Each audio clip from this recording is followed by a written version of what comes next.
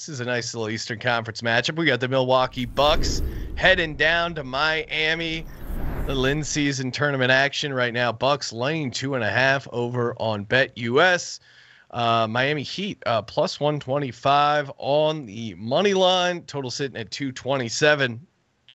I'll kick things off. Usually, I love the Heat as a home dog here, but uh, something about this Bucks team, especially as of late, I know they, uh, I know they, they didn't, they shouldn't have needed that crazy comeback against the Trailblazers, but they they pulled it off. Um, and I think Giannis and Dame really have kind of figured out okay, hey, here's a way where we can both put up 30 points.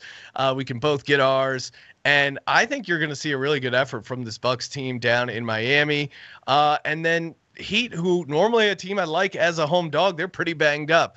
Bam is dealing with the hip. Duncan Robinson dealing with the thumb. Jimmy Butler dealing with an ankle. Now, this is the Miami Heat. This is Heat culture. So I'm sure uh, those guys will probably all play, but I don't think they're going to be 100%. And I think I think actually, uh, I, I, know they are a home dog, but I think the, the, Bucks might have the motivation. I think they got off to that little bit of a slow start, trying to figure out how to integrate Dame, and I think they've kind of figured some stuff out. I think they uh, roll here down to Miami.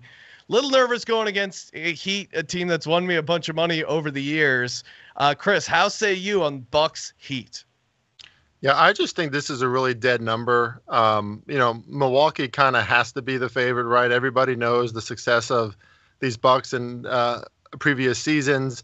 I mean, everyone kind of ignores the success of the Heat, but uh, you know, obviously the Bucks are a stacked team. Lillard is playing better. Giannis is playing better with him, but the Heat and the kind of front court defense they can play, especially with Bam Adebayo back and healthy.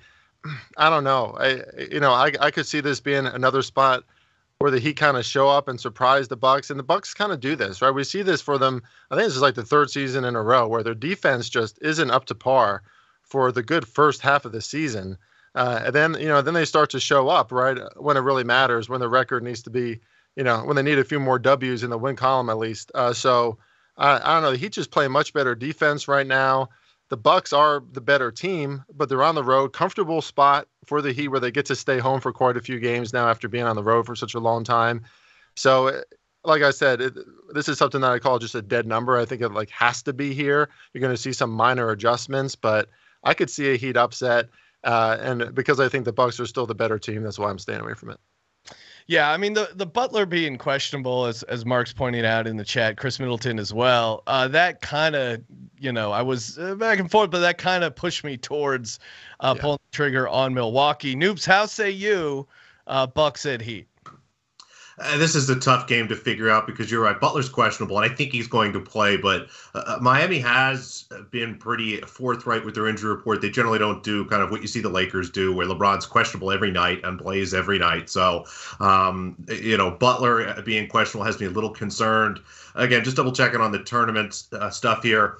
Uh, this is a group that's pretty simple or could get complicated. I just talked about it with the Knicks, but if the Bucks win this game, they win their group. That's 4-0. It's over. The Heat are out. They'll have two losses, not even a chance at the wild card. But if the Heat can win this game, they win the group if the Knicks lose, or it goes to a three-way tie if the Knicks win. So uh, there's a lot to play for here. So the motivation angle for both teams should be pretty strong again, my numbers sort of came up pretty close to market. If Butler is in and Middleton's out or less than 100%, I have the Bucks as like a three point favorite here. It's just it's a tough matchup for both teams. You know, Miami historically has done very well against Giannis, but they struggle with guards like Damian Lillard. Whereas the Bucks, again, it just don't seem like they're quite right. This is a game I'm going to watch. I just I don't know what to do here betting wise. It's hard for me to figure out if these numbers are right or wrong. Yeah, we'll see. I, I feel like they've. I, I know what you mean, not quite right, but I feel like I don't know. Uh, they they figured a little something out. So give me the Bucks, lay in two and a half, lock it in for me. Next.